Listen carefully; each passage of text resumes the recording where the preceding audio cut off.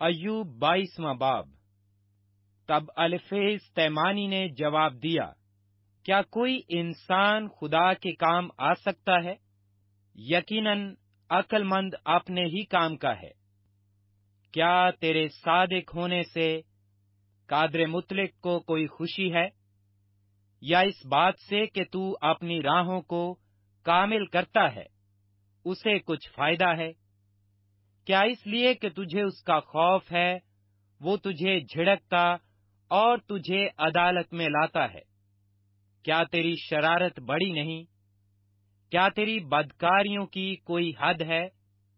کیونکہ تو نے اپنے بھائی کی چیزیں بے سبب رہن رکھی اور ننگوں کا لباس اتار لیا۔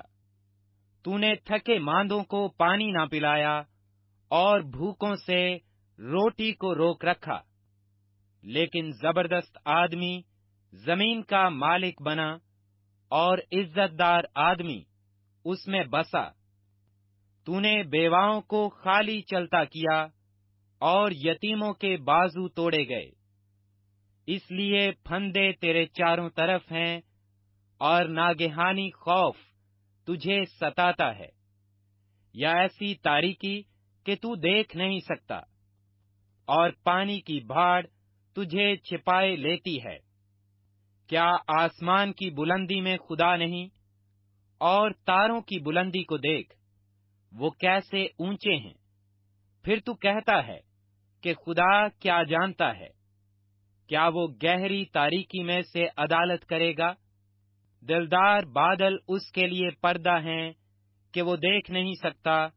وہ آسمان کے دائرہ میں سیر کرتا پھرتا ہے۔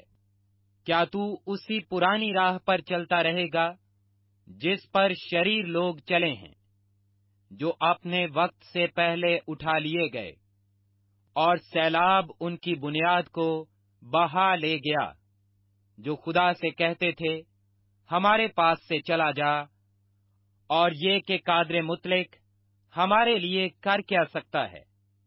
تو بھی اس نے ان گھروں کو اچھی اچھی چیزوں سے بھر دیا۔ لیکن شریروں کی مشورت مجھ سے دور ہے۔ صادق یہ دیکھ کر خوش ہوتے ہیں اور بے گنا ان کی ہنسی اڑاتے ہیں اور کہتے ہیں کہ یقیناً وہ جو ہمارے خلاف اٹھتے تھے، کٹ گئے اور جو ان میں سے باقی رہ گئے تھے، ان کو آگ نے بھسم کر دیا ہے۔ اس سے ملا رہے تو سلامت رہے گا۔ اور اس سے تیرا بھلا ہوگا۔ میں تیری منت کرتا ہوں کہ شریعت کو اسی کی زبانی قبول کر اور اس کی باتوں کو اپنے دل میں رکھ لے۔ اگر تو قادر مطلق کی طرف پھرے تو بحال کیا جائے گا۔ بشرتا کہ تو ناراستی کو اپنے خیموں سے دور کر دے۔ تو اپنے خزانہ کو مٹی میں اور اوفیر کے سونے کو ندیوں کے پتھروں میں ڈال دے۔ تب قادر مطلق تیرا خزانہ اور تیرے لیے بیش قیمت چاندی ہوگا، کیونکہ تب ہی تو قادر مطلق میں مسرور رہے گا اور خدا کی طرف اپنا منہ اٹھائے گا۔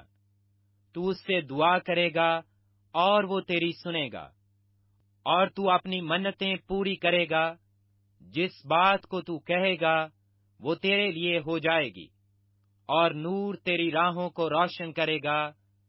جب وہ پست کریں گے، تو کہے گا بلندی ہوگی اور وہ حلیم آدمی کو بچائے گا۔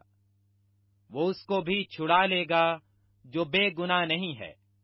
ہاں وہ تیرے ہاتھوں کی پاکیزگی کے سبب سے چھڑایا جائے گا۔